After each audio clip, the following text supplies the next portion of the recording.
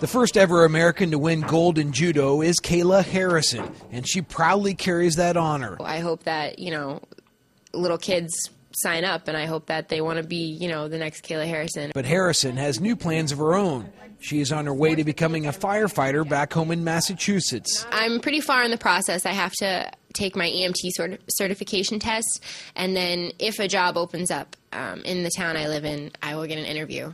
And having an Olympic gold medal on your resume is probably going to help me a little bit. Americans performed strong in the pool. Michael Phelps won his second gold medal of the Games by winning the 200 meter individual medley. He has won that event in three straight Olympics and now has 20 career medals. Tyler Clary won gold in the 200 meter backstroke. Clary set an Olympic record and plans to celebrate. I'm actually DJing here in London on Sunday night at a club called China White just up the street. Uh, that's going to be a lot of fun. That that's going to be part of the celebration, and I'm going to I'm planning a, a trip to Paris in, in, the next week. Ryan Lochte finished in third place to win bronze in the 200 meter backstroke. He also won silver in the 200 meter IM behind Phelps.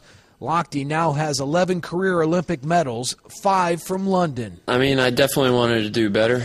Uh, I mean, I had some ups and downs, but I mean, for the most part, I'm coming home to my country with five Olympic medals, and that's something to be really proud of. Rebecca Soni continued her breaststroke dominance. Soni set a world record for the second night in a row by winning gold in the 200 meter breaststroke. Gabrielle Douglas is the women's gymnastics all around Olympic champion. Her gold medal performance makes her the third American in a row to win the event and the first ever African American. Mark Carlson, The Associated Press, London.